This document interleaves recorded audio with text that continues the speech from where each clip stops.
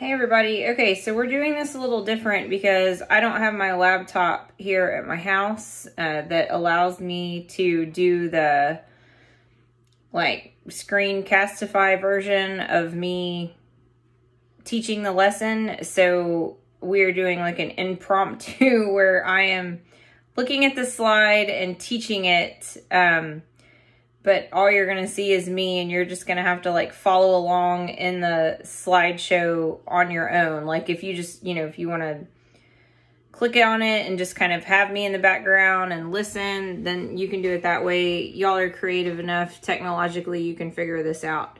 Um, it is 6.30 on Sunday night. Had no plans of not being there tomorrow, but my youngest uh, daughter, Avian, my daughter, she's like two and a half. She is now running like 101 fever, has like cold-like symptoms. And so even if this is just your typical two-year-old little virus, they're going to want to test her for COVID. Um, y'all know how this song and dance goes. So there's a chance I may not be here you know, tomorrow and Tuesday until we can get her results back. And of course, we're clearly hoping for negative, otherwise, you won't see me for a while. if that's the case, I'll get my computer some kind of way so that this isn't how we handle things. Um, but for now, this is the best that I can do. So, Anyways, um, so, you know, tomorrow is Monday. I'm going to need y'all, of course, to be watching this video, but again, also looking through the Unit 8 slideshows starting on slide 41. Um, we ended on Louis the 14th's uh, biography video on Friday, and Friday, of course, was Louis Day. We had all kinds of fun with him and, um, you know, all the crazy stuff that you'd think almost wouldn't even be true. Um, but yet it was. So here we go. 41, the title of the slide is The Spread of Absolutism. And, uh, you know, as we've talked about before, after the 30 Years' War, the Holy Roman Empire really is highly weakened. Um, you know, for 30 years, a very, very brutal war, which was the 30 Years' War, raged uh, in those states and once it was over, you have 300 even like smaller states that are now making up the Holy Roman Empire. And so you can imagine if the Habsburgs were having problems centralizing their power and keeping control of the states prior to the Thirty Years' War, it's even worse now. Um, you have um, the emergence of Prussia after the 30 Years' War. And Prussia is actually going to end up being, and this is P R U S S I A, Prussia, not Russia, Prussia. Okay, and um, they're actually going to be a pretty decent powerhouse in Europe for a while. Um, and so, you know, it's important to note their existence that emerges really after the 30 Years' War. Frederick William, or the Great Elector, uh, that was his name, is going to kind of lay the foundation for the Prussian state. And Prussia is going to be all about the military throughout their history. They are going to be known for having this amazing standing army. I mean, and and so that'll we'll talk about them again. Just that's the main thing that I want you to remember about Prussia is like military is their jam they spend an insane amount of money and and tax their people to like the nth degree to keep their army really big and really powerful even when there's like no big threats to them. So just kind of bear that in mind. Okay so the austrian habsburgs which of course have been the holy roman emperors uh, by the end of the 30 years war their hopes of kind of creating this amazing empire that's all unified under a highly centralized monarchy is sincerely out the window. I mean, yes, they're still the Holy Roman Emperor family and all that, but you know, not not even close to being what they were. Uh, and it's never going to be that way. It's never going to become highly centralized. Um, and the only thing that you know keeps them alive is this almost like kind of bizarre loyalty to them by the people uh, of the Holy Roman Empire. Um, really, the only sentiment that holds these like 300 plus little states together is like, oh, they're our royal family. Well, again, I don't really get that, but that's that's how they kind of stay the royal family of the Holy Roman Empire. Is is this just kind of like common feeling of, well, that's our royal family, and that's just the way that it is. Uh, but again, doesn't make much sense. Um, okay, so it kind of made me, that's why I don't know if y'all remember, but like I laughed really hard during the 30 Years War video uh, that John Green did through Crash Course. And he was talking about like why anybody would want to be a Holy Roman Empire is beyond me at this point. But hey, um, you know, if you were in class that day, every time he said that, I kind of giggled. But uh, all right, so moving on to Russia right quick. Um, you know, Russia is going to be, I mean, uh, it's kind of as far as an as a kingdom goes, it's it's always behind. All right, it's it's kind of like the backwater cousin. Um, you you could almost say of of Europe. I mean, everybody, yeah, you're looking, you know, everybody knows it's there and stuff, but for the most part, nobody really pays attention to Russia for a good long while until they get a, a, a monarch by the name of Peter. Okay, so Peter the Great um, is who I kind of want to hone in on as far as Russia goes in this particular unit. We'll we'll talk about Russia a good bit more in other units, but Peter the Great is going to be like one of Russia's like main monarchs because he wants to westernize Russia. He actually what he does, he dresses up actually as a like a commoner kind of or like a I don't know. Yeah, I mean like a commoner. And he um does this whole tour of Western Europe, but he he doesn't he really doesn't want anybody to know that it's him, that he's the czar of Russia, which is why he kind of like goes around like incognito. And he's doing this because he goes to study the like economics and the um just overall like financial culture of these highly successful western european kingdoms because he wants to pull Russia into that market. Like he wants Russia to become, you know, modernized and westernized and not be the backwater cousin that nobody really pays attention to. He doesn't want that. And so his big thing is modernize the army, modernize the navy, modernize our economic platform. Um, so this is why he's known as Peter the Great. I mean, he really does kind of take Russia into this next level as far as a European kingdom goes. Now, the, historically speaking, they still stay kind of behind the times. But if really, if it weren't for Peter the Great, they would be even more behind the times, um, historically speaking. so he is going to establish the port city of St. Petersburg, um, which of course is, is highly famous city there, on the Baltic Sea. And it's so that he can open trade up. You know, like he, he's like, I, we can't be landlocked. He actually even goes to war with Finland. He goes to war with Finland to acquire the land um, that St. Petersburg gets built upon. So um, this video is one that I want you to watch. I'm not to like try to watch it, but uh, you need to. So if you want to like pause me, watch it, and then unpause me, that would be great. Uh, whatever works best for you. But um, again, the video is about four or five minutes. And then the, the final lesson is European culture after the Renaissance.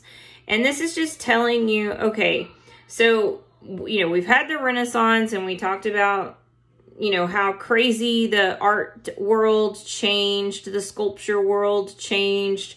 We looked at your high Renaissance masters um, and some of the more notable works of art and things like that. Um, so, you know, so, so what do things look like obviously after the Renaissance? How does that change things? And then, of course, with all the other massive changes taking place in Europe due to the Reformation and the Age of Exploration and all of this, like, how does this feed into art and, and literature and things like that within um, European society? And so the art actually of the like 17th century really reflects in a lot of ways um, all the problems that we've talked about that the 17th century was encountering.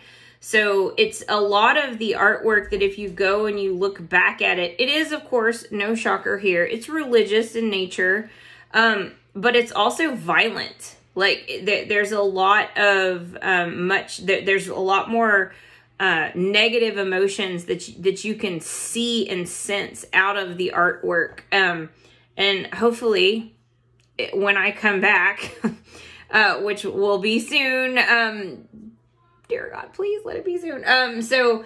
anyways, we'll look at actually some of that, and and uh, there's this incredible article, and I know I've I've brought in, um, you know, my history National Geographic magazine before. I've, you know, the Robin Hood article. Um, there's also a really incredible article of a post Renaissance artist. I'll have to go back in and find which which issue that was from, where she, um, it's a female and and really acquired an amass a, really a, an amazing amount of fame um being a female artist during the time and some of and a lot of her artwork is very violent and actually like really dark.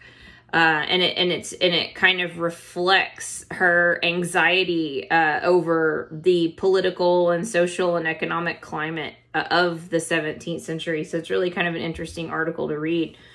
Um so again, in uh, on slide 47, which was is the title slide for lesson four, it talks about mannerism, which is kind of the new artistic movement. And I, y'all know me, I'm not an art history person. I do my best at trying to explain it, but I'm just going to straight up read the definition of mannerism, which is just breaking down the principles of balance, harmony, and moderation. And this emerges in the 1520s and 30s. So, Mannerism is what eventually replaces the Baroque movement. And y'all have to play the little clip that I have from it's the it's Cogsworth off of Beauty and the Beast, like the original um cartoon. He like makes a funny little pun.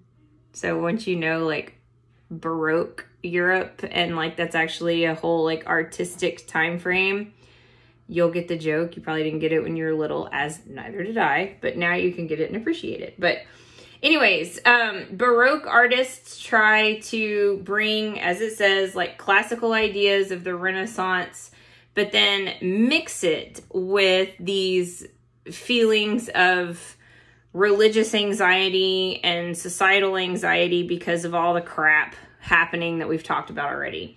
Um, so again, Baroque art and architecture is all about, you know, showing power, like Versailles. Versailles is like the ultimate like Baroque palace, right? Um, I mean, hello, highly richly detailed, um, incredibly magnificent. Everybody's gonna try to copy Versailles to like the end of time. No one gets close. Um, but still, like, that is the ultimate show, right, of power and of money and of wealth and of absolutism. Um, but then also, if you look at the art at Versailles, there's a lot of paintings and murals on the wall that depict, again, like kind of the violence and the anxiety of the 17th century. So, anyways, uh, just kind of know that you have major musical talents show up during the this time frame. You have Bach, you have Handel, um, and and so you know their music also reflects kind of the complexity of the 17th century and and people's feelings and anxieties and such. So uh, most people have heard of the Minuet in G major by Bach. Um, you don't know that that's what you're listening to, but you've heard it. So, anyways, play that so that you're like, oh, okay, so I've heard Bach because I mean, you have. Trust me, it's in all kinds of crap. Um, and then, of course, you can't talk about the 17th century without talking about Shakespeare. And so, uh, and of course, this is super early. I mean, like, you know, he's really more late 1500s, so really late 16th century, early 17th century, but still can't talk about this time frame without talking about Sir Shakespeare, all right? So, um, of course, he is born in uh, and raised and, and married, and his kids grow up and everything. And um, oh my God, what's the matter with me? England, obviously, but why can I think Stratford upon Avon? Thank you, brain, for kicking in there. Um, yes, Stratford upon Avon is where he is uh, from. And of course, he moves to London and starts producing and acting uh, in these amazing plays of, of his writing. And um, of course, he's he has you know why why has that's the, the big the big question really about Shakespeare is why has he stood the test of time and some of these others haven't. Like, wh- why do you know more about Shakespeare than you really know about other really highly notable playwrights and authors? Why is Shakespeare, like, again and again and again brought up and studied and looked at and reproduced? And, you know, how are his works constantly coming back around and, and being made into modern day movies? Um, you know, when other people's stuff really isn't. Well, a lot of it has to do with the fact that he understood psychologically human beings. Okay, like he got to the root of human nature and put it into his plays. And I've said this in class before, and I'll say it until my dying day. Human nature, it doesn't change, guys. That's the reason why history is so important to understand is because if you understand the patterns that you see throughout history of human beings, it helps you to not fall into almost like this fantastical or fantasy world of like, oh, this is the way the world could be. Well, sure, it's the way the world could be, but it's not the way that the world is gonna be. And I mean, it's 10,000 years of recorded history are going to prove that time and time and time again. Um, and and that is the reason why his his stuff lasts. He, I mean, he exploits greed and sex and uh, misunderstandings of emotions and i mean like all the nitty gritty stuff of being a human that that doesn't change it doesn't matter if you are in the late 1500s, early 1600s, or you're sitting right in the middle of 2021. I mean, like, it, it, doesn't matter. That doesn't change because people really kind of don't change. So, um, that is what makes him brilliant. And, and that's what makes him just continue, you know, no, ma- no matter what. So, again, video, watch it. The biography of Shakespeare, it's a few minutes. Um, and then the final slide of the lesson is about um, Cervantes. So Cervantes is also pretty famous. He writes Don Quixote. Uh, and Don Quixote is uh, really, honestly, for those of you that like like fantasy fiction, Don Quixote is the first kind of fantasy fiction novel um, you know, so all of you like Harry Potter, um, you know, Lord of the Rings, um, you know, maybe you like the Inheritance series, the the Dragon uh series. All, like I'm a big fantasy fiction person. I actually love fantasy fiction novels. Um he is your he's like your big inspiration, honestly. He's your first fantasy fiction novelist. So um, if you watch that last minute book report that I have a tie to, it's super fast. Like it's literally going through the whole of the book in a matter of seconds. But if you listen to it, you're kind of like, what is going on? Well, it's because again, it's all about this like dream that this guy has and he goes off like to fight this otherworldly thing, you know, like and anyways, it just goes to show you how again, it's it's fantasy fiction and this is the first one ever written. So Cervantes, of course, uh, is known for that, and that's how he kind of stands the test of time. Is that's that he created that genre, so kind of neat. Okay, so that is it. If you have watched the videos, I'm at 20 minutes as far as like lecture and me talking to you. But if you've watched the videos, that fills in the additional, really about, I'm going to say probably an additional 10 to 15 minutes. So uh, you should be close to 45 minutes by the time you, you do all of that. So um, again, I'm sorry that I'm not there. Hopefully I can be back. Um, it would be ideal if I could be back tomorrow, Tuesday, but if not, hopefully by Wednesday. So again, I'm sorry I'm not there. It was not my intention. She literally started running fever maybe 45 minutes ago. So is what it is. So, all right. Happy Monday from my home office. So, all right. See you guys later. Bye.